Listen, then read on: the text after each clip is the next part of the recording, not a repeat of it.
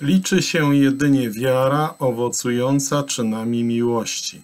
List do Galacjan, 5 rozdział, 6 werset.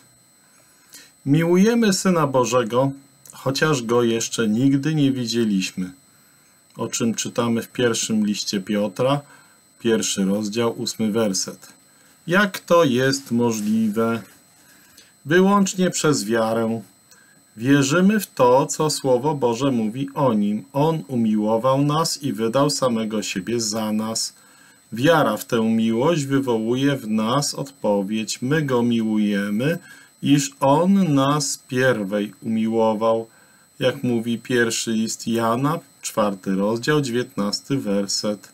Miłujemy także braci i siostry w wierze. Jeżeli przez wiarę pojęliśmy, że należymy do rodziny Bożej, ponieważ narodziliśmy się z Boga, wtedy będzie to zupełnie normalne, że będziemy miłować wszystkie dzieci Boże, nie tylko te, które są sympatyczne lub myślą dokładnie tak samo jak my. Jan pisze, każdy, kto miłuje tego, który go zrodził, miłuje też tego, który się z niego narodził. Pierwszy list Jana, piąty rozdział, pierwszy werset. Dzięki wierze możemy postrzegać naszego brata i naszą siostrę jako tych, za których zmarł Chrystus. Możemy przeczytać o tym w Rzymian, 14 rozdział, 15 werset i pierwszy list do Koryntian, 8 rozdział, 11 werset. Czyż nie jest to wspaniałą motywacją do wzajemnej miłości?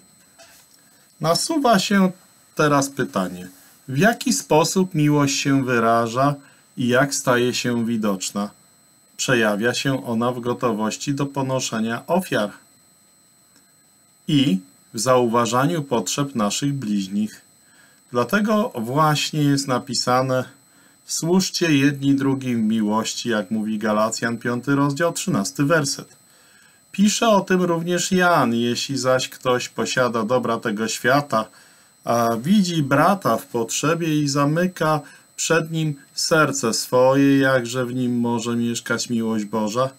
Dzieci, miłujmy nie słowem ani językiem, lecz czynem i prawdą. Pierwszy list Jana, trzeci rozdział, 17 do 18 wersetu. Pan Jezus Chrystus powiedział swoim uczniom, że powinni nawzajem się miłować tak, jak On ich umiłował, o czym czytamy m.in. w Ewangelii Jana, 15 rozdział, 12 werset. A więc On sam stanowi kryterium dla miłości, którą powinniśmy mieć dla siebie nawzajem. A to jest wysoki standard. Jan podejmuje tę myśl, gdy mówi o tym, że po tym poznaliśmy miłość, że On za nas oddał życie swoje i my winniśmy życie oddawać za braci. Pierwsi chrześcijanie tak właśnie żyli i stali się w ten sposób cudownym świadectwem ku czci Bożej.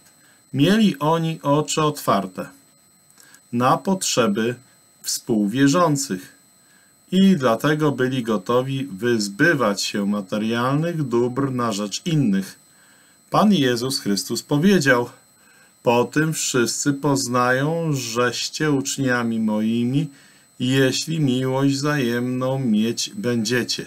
Ewangelia Jana 13, rozdział 35, werset. Tak było wtedy, a jak wygląda to dzisiaj? Wiara jest czynna w miłości. Oznacza to, że przez praktykowaną miłość uwidacznia się wiara, która nie jest intelektualnym przekonaniem, lecz czymś żywym i namacalnym. Liczy się jedynie wiara owocująca czynami miłości.